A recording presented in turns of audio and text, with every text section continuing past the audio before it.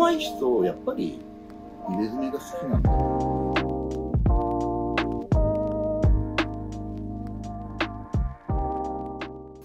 えー群馬県伊勢崎市、えー雲心佐伯庵、えー堀正と申します。経緯としては、まあ、昔から興味はもちろんあったんですけど、経緯としたら、まあ、知り合いというか、がマシンを持っていて、それでまあ、自分で掘ってみたとこから始まった。まあ、その前から道具欲しかったり、その、やってみようっていうのはあったんですけど、今みたいな時代じゃないんで、うんあの、始めるともう必ず、あの、家業の人がやっぱりあるんで、なかなか簡単に始められることじゃない。30超えてからね、始めたのは遅いんで、うん。それまで普通に現場仕事し始めて。ボディは、いいや、最初からやってなかったですね。はいで、ボディは、何年ぐらいしてから、ボディ始めて5年ぐらいしてからかな。その頃だと、タトゥーイベント行ったり、多少動画系のはあったかな。でもビデオですかね、VHS のね、うん、その辺の買ったりしてやってみた感じ。国内のその頃はイベントがいっぱいあって、はい。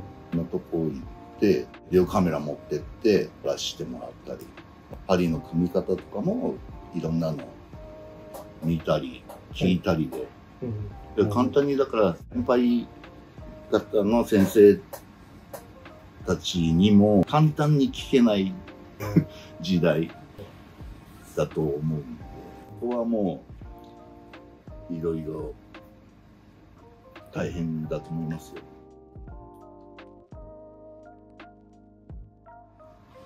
まず、まあ一応基本的にフリーハンドでえー直接体に書いてから彫るのが基本に今はなってます。まあ、ステンシル貼ることも多々ありますけど、和彫り的なものに関しては、ほぼフリーハンドが基本スタイル。あの、体に合わせて、大きさもそうだ、いろんなことが途中で変えられたりする。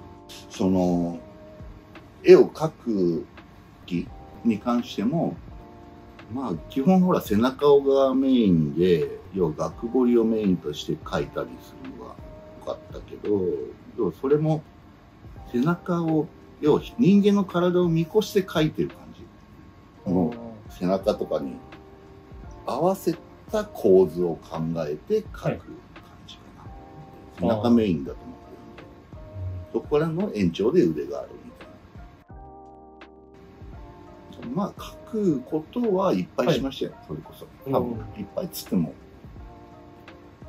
寝る間も惜しんで、暇さえあれば書いたりしたけど、みんな多分言わないと思うけど、はいちゃんと書いてると思います。表に出たりしないと思うし。表に出したとしても、それ何倍も多分その他にいっぱい書いてある。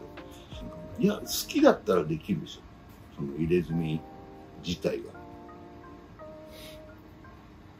できるとか自然に多分なるんじゃないかな。上手くなりたいとか、なんつうんだろう。なんか、そういうのが目標じゃないけど、あれば。やっぱり書いてて、腕で、はい腕と頭の中でなんか覚えてはいいかないと、仮に、まあ、ステンシルこう貼った時も、必ずどっか消えたりするから、そこも補補修したりするわけだよね。で、それはやっぱ書けないと、その場で消えちゃって、あ、どうするっていうはい。ことになって、また貼り直すのかっていううん。じゃダメだと思うんで、あこうやってて消えちゃったらまたちょっと書き足して、はい。そこを彫るとか、ーうん。うん。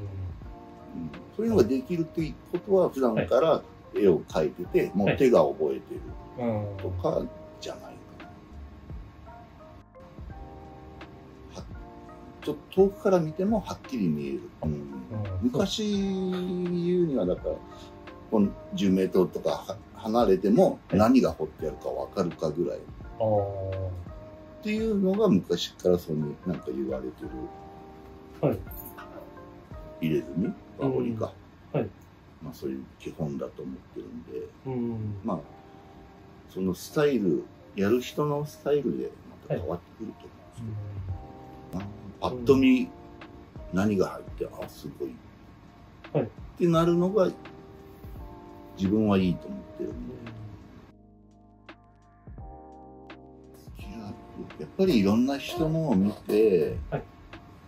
いろんな人の仕事見て要はその現場で見た方が勉強になると思う。だからコンベンション？海外とかの。はい。行くともうすごい勉強になると思うまあ行けるんであれば、はい。行った方がいいかな、だいぶ変わるですよね。あの価値観とか、はい。世界観とか。日本のね上手い人たちもいっぱいいるからそういう人にただ見てもらうじゃなくて実際自分に掘ってもらうとかじゃないと失礼に当たると思うし、ああ。見学いいですかなんて、はい。失礼も甚だしいと思う間近で見れるし、うん。やっぱりそこで話もできるだろうから、そこで得るものってでかいと思うんですよね。ただ、やみくもに仕事にしてもらっていいですか？お邪魔してしていいですか？っていうのは、ちょっとなないかな。まずそこで、ね、好きな作部の人とか、尊敬する人とかに掘ってもらうとこは、はい。そのスキルにしても何にしても全然ね本で見たり YouTube 動画で見たりするのとはまた別だと思うけどしかも掘ってもらって感覚とかもね分かるだろうから、その辺もスキルアップにはなると思うんですよね。ただそれがほら一回行ってと話してじゃあ多分無理だ。よあある程度大きさのあるものを掘ってもらって、どこどこでこういう仕事をしてる誰々です。で名乗ってから仕事をねもらった方が手形もねいいと思うし。そう。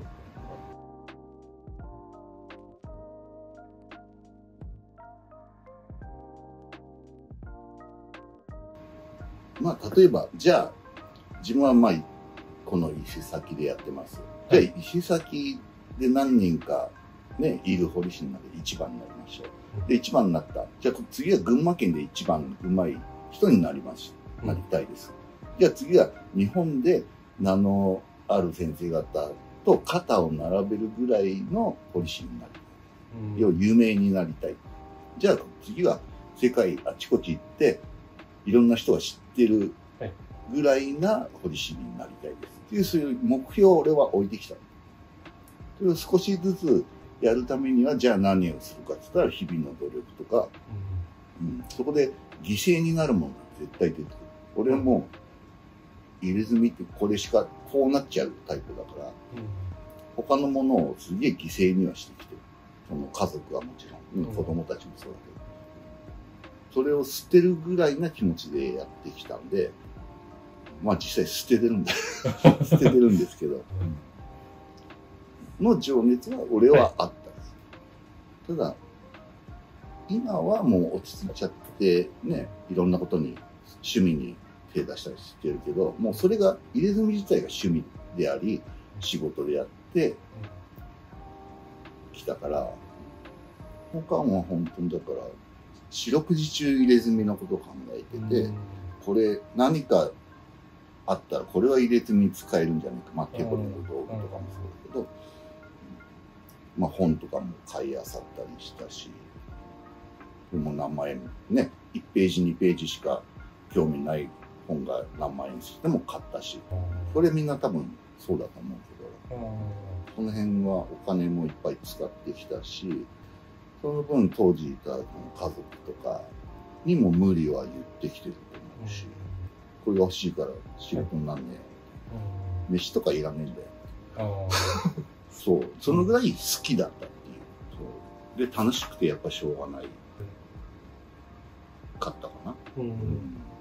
でいろんなことをほら、やってみたいし。うんまあそれにはやっぱり根本的には、まあ、負けたくないっていう、うん。そこの部分が一番大きかった。こうその名のあるもう今現状名のある人とかはその辺は強いと思う。この人がこうしたらじゃあこっちはこうしてやろうとかライバル視できる人はたまたま何人もいてっていうのもあるんですよ。要はそのレベルを認め合ってる人じゃないですか。お互いの、う。うん。ん、でその辺も選ぶというか付き合う人も考えた方があ自分のレベルを上げるためにはそれもありだし、ー結果でね自分がねやっぱりやってきたことの結果っていうのは人のつながりもできてるし自分の生活ももちろんそうだけど、うん。その辺もだいぶこう広がってきたり、うん、いい方向に向かってると思う。結局ダメなことやってる人ってこっち行っちゃうから消えてる人ももちろんいるしいろんな人はいると思うけど負けたくないなっていうところ。の根本があるんですね。うん